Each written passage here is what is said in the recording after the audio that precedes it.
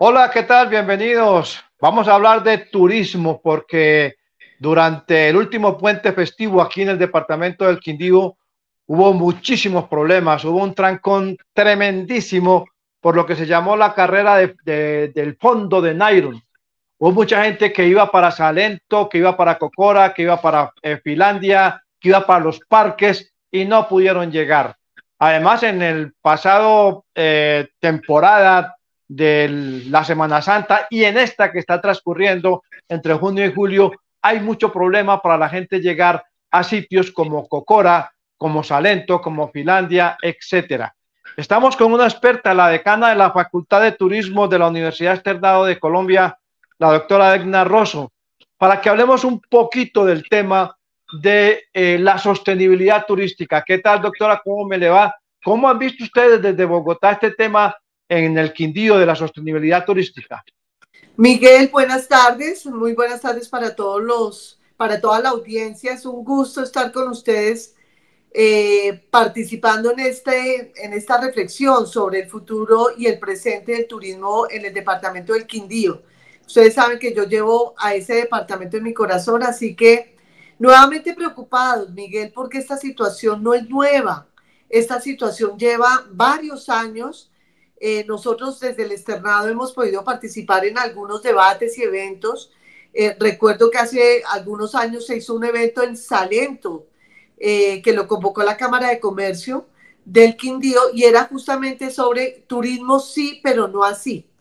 Tristemente, a través de las noticias nos seguimos enterando de la misma situación que se presenta en las altas temporadas, especialmente en el municipio de Salento, en donde la masificación y la llegada no programada, no planificada de los visitantes generan últimas una muy mala experiencia para todos los que quieren disfrutar de ese hermoso departamento. Esto que nos estás contando, Miguel, no es nuevo el tema de, la, congestión, de que la gente no logra llegar, de que se toma tres horas para poder acceder al municipio, pues es una actividad recurrente. Eh, se han hablado de varias opciones. Recuerdo que en ese momento se le planteó a la alcaldía de ese entonces un tema de ordenamiento de la actividad con construcción de parqueaderos en la parte de afuera del, municipio. Eh, se había hablado de unas una determinación de capacidad de carga, el número de llegadas, ¿cómo lo puede hacer el destino?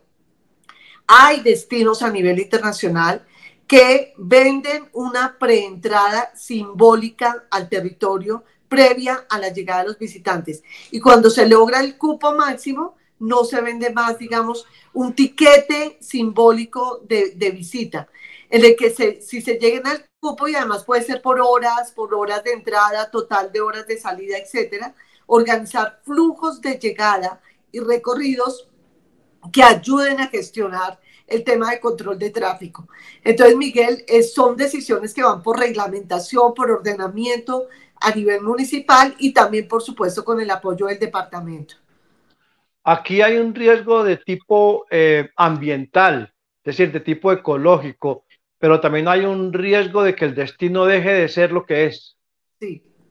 Miguel, yo conocí Salento cuando trabajé con la Federación Nacional de Cafeteros eh, diseñando el programa que en ese momento se llamó Estancias del, del Café. Te estoy hablando de Historia Patria, eso fue en el año 1995 eh, y yo trabajé durante tres años eh, con el equipo también de la federación, teníamos una representante eh, departamental en cada uno de los, de los sitios que hacían parte del programa.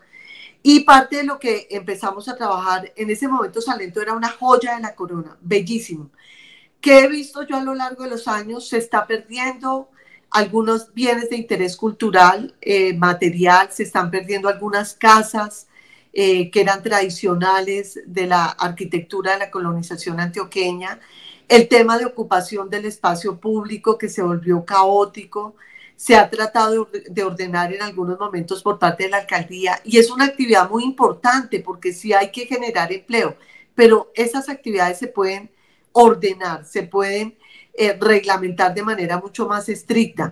Eh, se volvió completamente comercial, eh, digamos, el uso ha cambiado mucho de vivienda, de residencias hacia uso comercial y uno ya no encuentra a los salentinos, uno no encuentra a las personas del municipio, no sé si se dice salentino, no sé si utilicé bien. Así es, salentinos. Ok, y, y, ese sabor que uno lo tenía cuando llegaba a la casa de alguno de, las personas que habitaban allí, uno de verdad tenía, teníamos el contacto con la identidad de, los, de la gente del, del pueblo. Eso se ha perdido mucho porque se volvió muy comercial eh, no sé qué tanto, no sé si se han hecho estudios de qué tanto los comercios son de, los, de las personas de Salento o si se vendieron las, los locales y quienes están gestionando y usufructuando en términos económicos el municipio son gente de afuera, que eso también genera un desbalance muy grande en términos de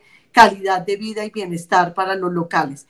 Y no hablemos pues del tema de impacto ambiental, el tema de la entrada al Valle del Cocora, eh, que es además zona de amortiguación del Parque de los Nevados, se ha visto considerablemente afectada por esta llegada masificada de visitantes, eh, que sé que se han tratado de hacer esfuerzos por ordenar, pero no se logra tomar una decisión integral y de ordenamiento estricto y con medidas restrictivas reales para los visitantes.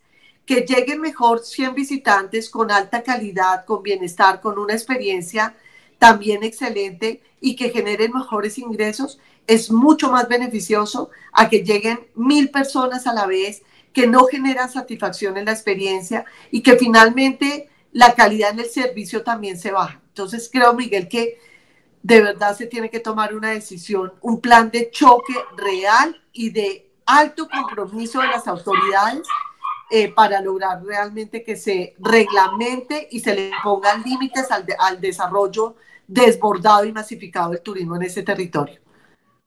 Finalmente, doctora Egna, eh, ¿usted cree que eh, soluciones como, por ejemplo, la instalación de un teleférico en, en, la, en la ruta del café, en la autopista del café, que la gente deje los carros ahí en un parqueadero en la autopista del café y vayan teleférico hasta el casco urbano y también hasta eh, Cocora, ¿esa es una solución? Al Cocora no la veo viable, es decir, hay que evaluar definitivamente el impacto ambiental que traen este tipo de medidas. Ahí se genera un tema de contaminación invisible frente a especies eh, de fauna, aves que se ven afectadas considerablemente por este proceso. Entiendo entiendo perfectamente que, claro, esa puede ser una buena opción en términos de, digamos, de la accesibilidad. Eh, creo que hay que sopesar los riesgos que conlleva en términos ambientales una medida de este tipo y que puede de pronto estar prevaleciendo una lógica más de tipo económico frente al impacto ambiental que se puede generar en términos también de eh, paisajísticos. Eh, sí creo que hay que sopesarlo muy bien. No sé si el tema, y ahí en esto nos pueden ayudar muchísimo los ecólogos y los expertos en términos de cuál pueden ser los riesgos latentes de una u otra medida. Obviamente se requiere también de un equipo interdisciplinario en términos también de planificación eh, urbana, rural, de cuáles son las posibilidades que da el POT, etcétera, para determinar las, los mejores escenarios en las que no solo prevalezca un discurso económico, sino también la dimensión ambiental y social de este tipo de medidas. Entonces, Miguel, no me atrevo a decirte de manera eh, contundente esto o esto se debe hacer. Yo primero, pues soy académica, no estoy a, fondo metida en, eh, digamos, en lo que ha pasado, en, digamos, en términos de la posibilidad de este proyecto.